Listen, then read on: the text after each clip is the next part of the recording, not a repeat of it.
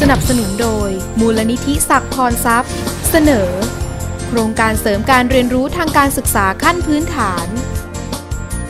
ข้อสอบกลางภาคเทอมต้น ระดับชั้นมัธยมศึกษาปีที่ 2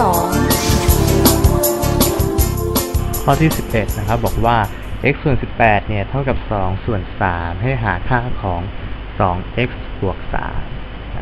3ก็แก้สมการ นนี้นะครับก็ย้าย 18 ขึ้นไปคูณ เพราะฉะนั้นเราก็จะได้ว่า x เท่ากับ 2 ส่วน 3 คูณ 18อ่าฝั่งนี้ก็เหลือค่า x 3 1 3 3 6 18 2 คูณ 6 ก็ได้ 12 เพราะฉะนั้นโจทย์ไม่ได้ถามค่า x โจทย์ถามหา 2x บวก 3 เราก็แทนซะ 2 ก็คือ 2 x เป็น 12 จากตรงนี้นะครับ แทนลงไป แล้วก็บวกด้วย 3 12 2 24 24บวก3ก็ได้27